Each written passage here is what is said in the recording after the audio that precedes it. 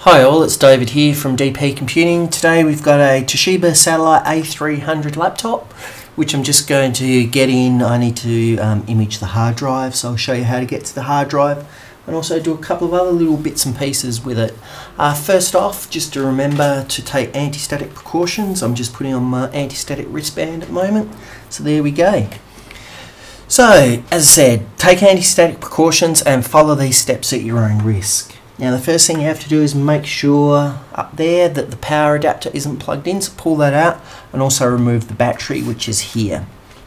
So the battery is, there's two little clips here, that'll clip in and hold in place. This one you'll have to hold there while you pull the actual battery out. So just pull it up. Have I got it the right way? Sorry, that's the way. So that clip should be outwards and that one should be outwards and the battery just comes out. Now as you can see now we've got three panels, one there, one there and another one over here. So I'll start with this one first. So the screw itself won't come out fully and there's the hard drive. So the hard drive itself is held in by one other screw which is just there.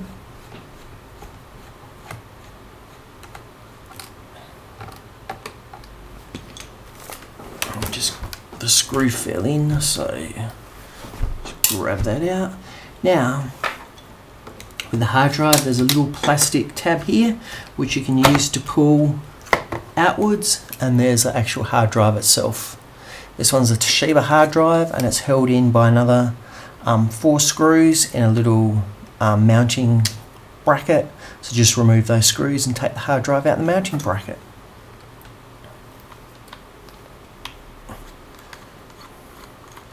So that's one out.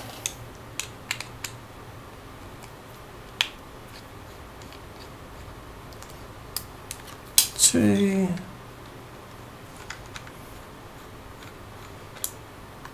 Three.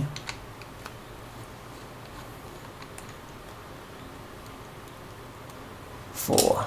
So once those screws are out, hard drive itself should slot out and there we go. There's the hard drive and there's a little mounting bracket. So we can put them to one side.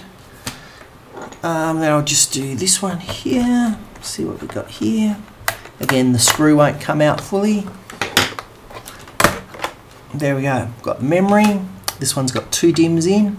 The memory itself um, is held in by two little metal uh, brackets here, just pull them outwards, the um, memory pops up and we can just pull it out.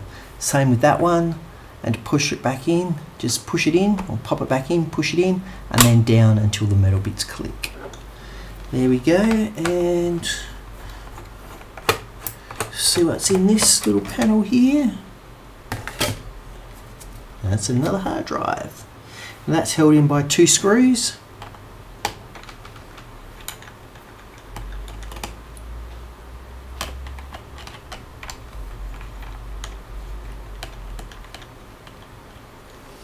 So just pop those screws out and light the other one.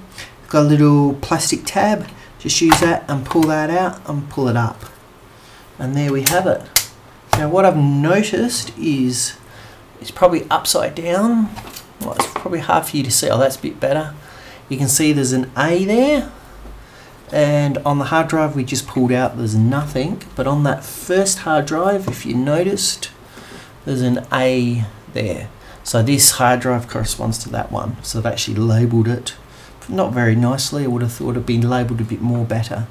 Well, there you have it. There's a quick tear apart of a Toshiba Satellite A300.